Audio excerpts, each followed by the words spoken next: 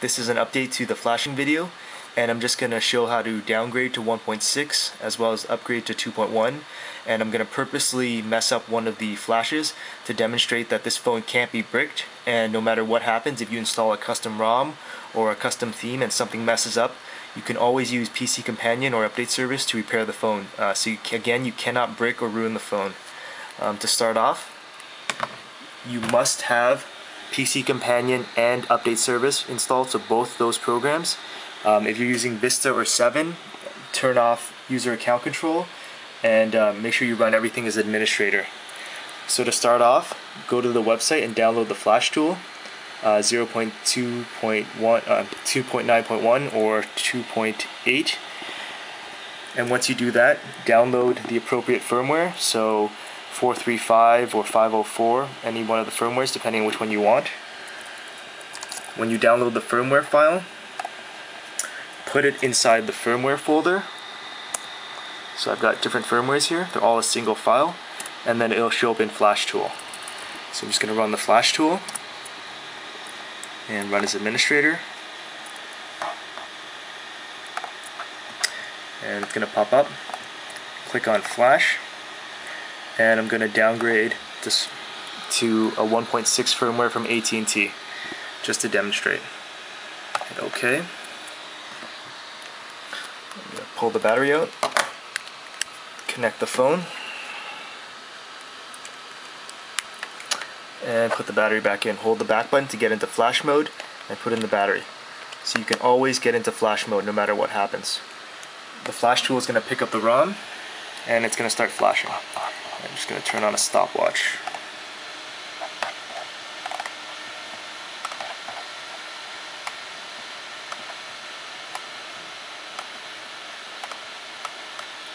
Uh, flashing takes approximately 3 minutes uh, depending on the firmware.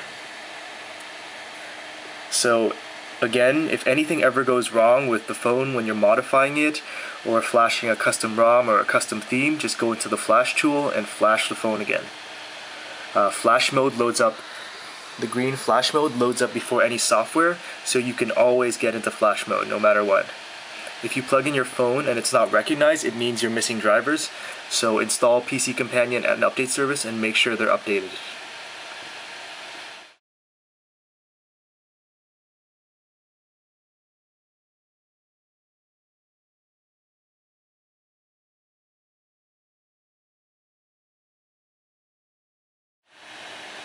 So now the flash is complete. I'm just going to unplug the phone and start it up.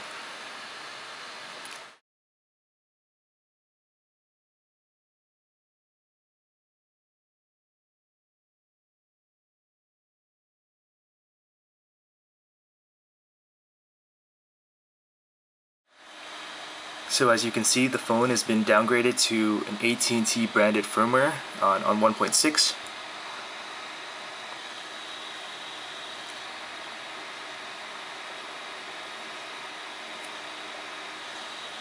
And everything's running as it should. So now I'm just going to upgrade it again to uh, 2.1 to a Rogers ROM. So I'm going to go back into the flash tool and click on flash. This time I'm going to choose uh, Rogers ROM. This should be, oh, this is a generic ROM. When you upgrade from uh, 1.6 to 2.1, make sure you have uh, wipe user data checked. Okay. It's going to ask me to plug in the phone again. Just going to pull the battery, plug it in, hold the back button to get into flash mode, and put in the battery. Green light turns on and it's going to start the flash again.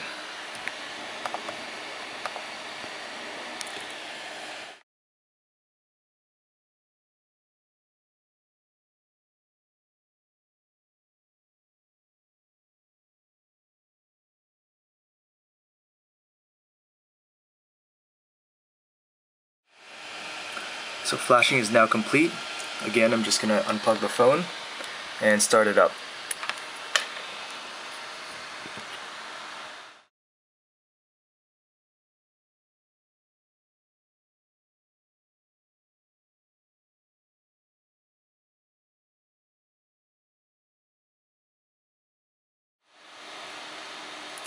As you can see, the phone's finished flashing and booting up, and it's now running uh, 2.1.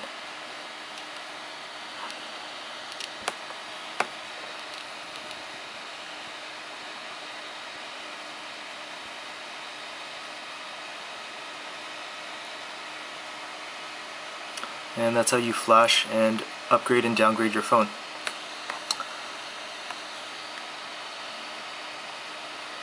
2.1 update 1 baseband 54 build 435 which is the latest uh, generic firmware for 2.1 so now I'm just going to demonstrate I'm going to purposely brick the phone and uh, just show you that you can flash it again. So I'm just going to flash it uh, using any firmware. I'm just going to use 504 this time wipe data and I'm going to mess up the flash on purpose. So pull the battery plug it in, connect in flash mode.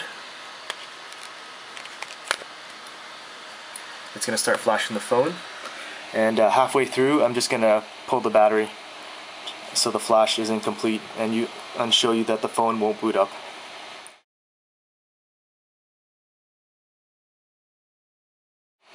So I'll let it get to about halfway and then I'll pull the battery.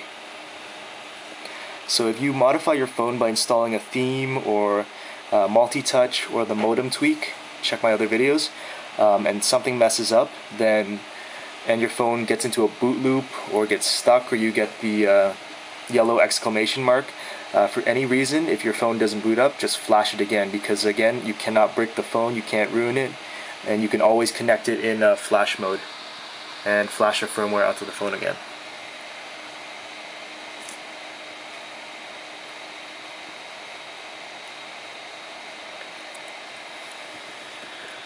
So I'm just going to unplug the phone and mess up the flash.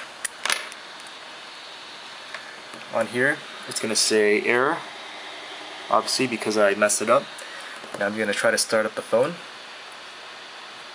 And I should get uh, a yellow exclamation mark or it should be stuck at the Sony Ericsson logo, but it won't boot up because uh, it didn't finish flashing.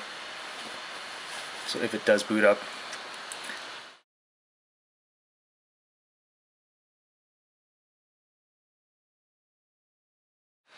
use the clock.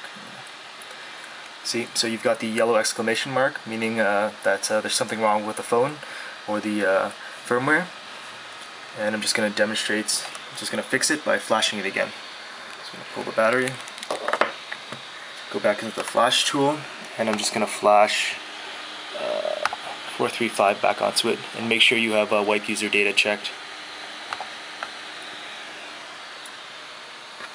The phone. Connected flash mode. And it's going to pick up the flash.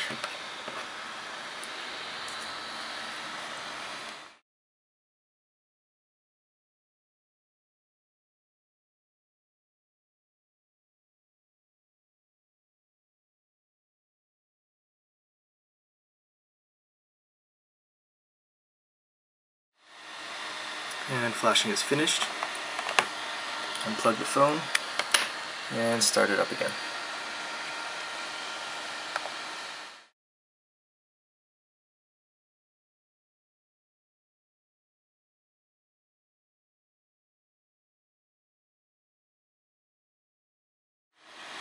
And as you can see, uh, the phone's finished flashing and it's been unbricked or restored. So again, you can't mess up this phone, you can't brick it, you can't break it, if anything happens, just flash it again. Um, if it's the, if it's your first time flashing the phone, you're gonna get this icon with a camera, and that just means that the software is being loaded. Um, that only shows up the first time you ever flash the phone. Uh, subsequently, you won't get that symbol again. And that's how you flash the phone. So again, to recap, go to the website, download whatever firmware you want, download the flash tool, download the firmware, put the firmware file inside the firmware folder, and then start up the firmware, the flash tool.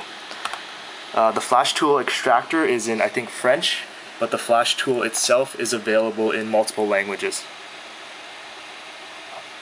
Okay, and that's how you flash your phone.